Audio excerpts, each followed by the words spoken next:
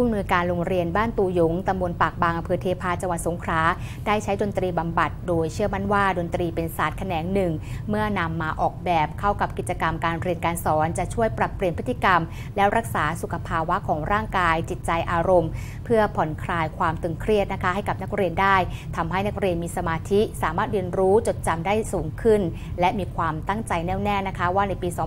2567 นักเรียนโรงเรียนบ้านตูยงทุกคนจะต้องอ่านออกเขียนได้และแก้ปัญหานักเรียนสมาธิสั้นได้อย่างแน่นอนค่ะ ติดตามได้จากรายงานค่ะ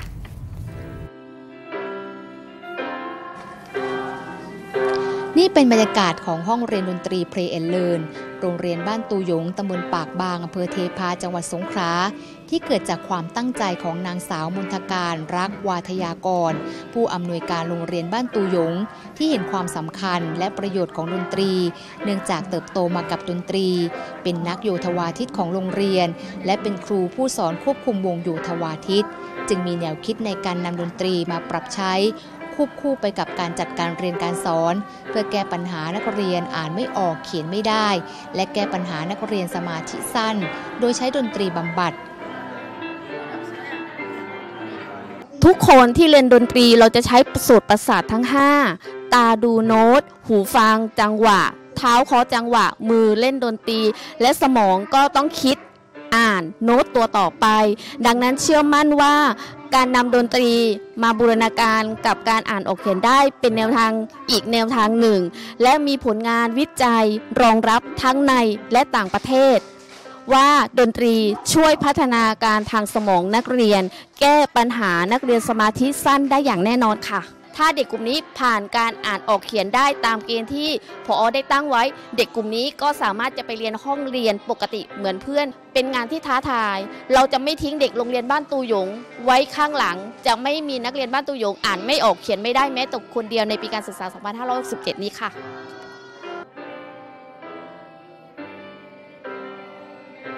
โรงเรียนบ้านตูหยงเดินหน้าอย่างจริงจัง ในการใช้ดนตรีเป็นศาสตร์ ในการพัฒนาสมอง สติปัญญา เสริมสร้างความคิดสร้างสรรค์ เพิ่มสมาธิ เพิ่มทักษะด้านร่างกาย และพัฒนาทักษะการเข้าสังคม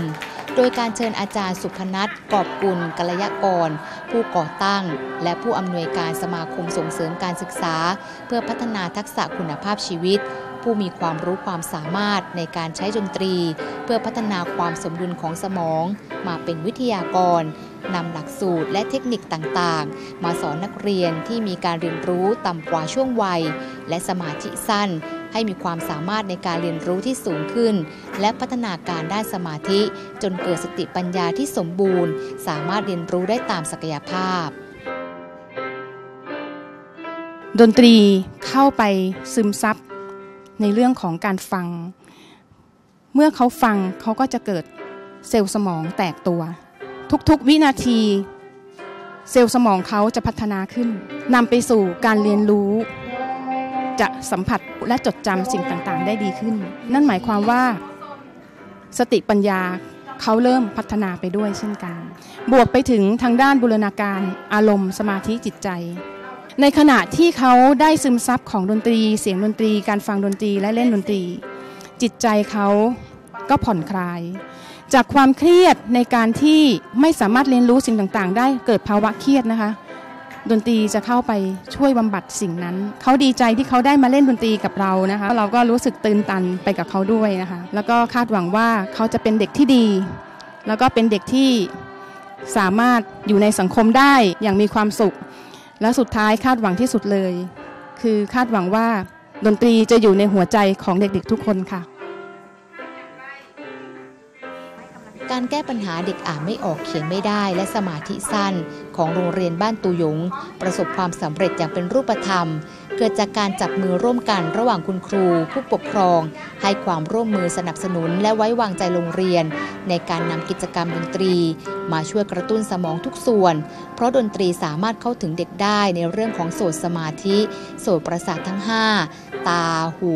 มือ เท้า และสมอง ผ่านการฟัง การเล่น การร้อง ครบทุกด้านไปพร้อมๆกันทำให้จิตใจรู้สึกผ่อนคลายได้เป็นอย่างดี และเป็นอีกหนึ่งกิจกรรม ที่จะช่วยให้นักเรียน ห่างไกลพฤติกรรมติดมือถือ ที่ส่งผลให้เกิดอาการสมาธิสั้น และส่งผลในด้านพฤติกรรม และอารมณ์ของเด็กในปัจจุบัน คือคาดหวังที่ว่าเออเขาจะได้ฟังแล้วก็นิ่งมากขึ้นนะคะคือเขาจะได้ตั้งใจในการเรียนมากกว่าค่ะเขาจะได้ไม่มีอารมณ์ในการก้าวร้าวพ่อแม่สั่งอะไรบอกอะไรคือเขาจะฟังมากขึ้น คือดนตรีนี่ก็อาจจะสอนกันหลาย ๆ อย่าง ดีใจนะคะที่คุณครูได้มอบสิ่งแบบนี้ให้ คือภูมิใจอย่างค่ะภูมิใจที่คุณครูทำในสิ่งนี้มาในปีนี้ จะเปลี่ยนจาก สนใจโทรศัพท์ก็จะเปลี่ยนเป็นด้านที่คุณครูสอน เริ่มจากมันมันค่อยข้ามไปทีละขั้นทีละขั้นค่ะ เราต้องฝึกไปเรื่อยๆ ชอบในเสียงเพลงแล้ว แล้วก็มาเจอแบบทางโรงเรียน จัดให้แบบนี้ก็ดีใจมากค่ะ มาถูกทางแล้วค่ะ จากแววตาและรอยยิ้มที่เต็มเปี่ยมไปด้วยความสุขสนุกสนาน ของนักเรียนโรงเรียนบ้านตูยงทำให้สัมผัสได้ถึงความตั้งใจในการเรียนรู้ นับเป็นจุดเริ่มต้นในการพัฒนาผู้เรียน ให้มีผลสำฤทธิ์ทางการเรียนที่สูงขึ้น และสร้างแรงบันดาลใจ ในการเดินตามความฝัน ต่อยอดด้านดนตรีของนักเรียนในอนาคตหนูรู้สึกเพลิดเพลินกับเสียงดนตรี แล้วก็ผ่อนคลายมากๆ ได้เปิดประสบการณ์ใหม่ ๆ ให้แก่พวกหนูทำให้หนูเข้าถึง ดนตรีมากขึ้นนะคะ ได้ฝึกตัวเองมากๆ นิ่งขึ้นทำให้มีสมาธิมากขึ้น เรียนต่อยอดไปเรื่อยๆอะค่ะ จะพัฒนาไม่ว่าดนตรีหรือว่าการร้องเพลงอะไรแบบนี้ และขอบคุณสำหรับโอกาส ครั้งนี้ค่ะ มีความสุขมากค่ะ ขอบคุณที่มาสอนพวกเราครับ สอนง่ายครับเข้าใจง่ายครับ เป็นการเปิดโอกาสให้พวกเราพวกพวกผมได้เรียนรู้ครับ อาจจะตั้งใจเรียนครับ แล้วก็นำไปใช้ครับ ในการเรียนครับ แล้วก็อาชีพอะไรครับ ขอบคุณพอที่ให้โอกาสการเรียนดนตรีครับ